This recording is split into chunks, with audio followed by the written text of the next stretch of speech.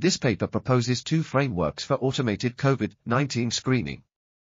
The first model uses a convolutional neural network, CNN, as a feature extractor and XGBoost as a classifier.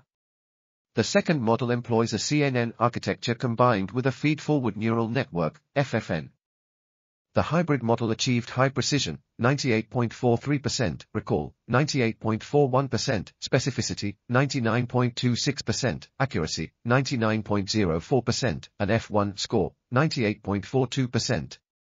The standalone CNN model had slightly lower but still commendable performance, with precision, 98.25%, recall, 98.44%, specificity, 99.27%, accuracy, 98.97%, and F1 score, 98.34%. These models outperformed five other state of. This article was authored by Aphelele Dumakude and Absalom Ezugwu. We are RTCL.TV, links in the description below.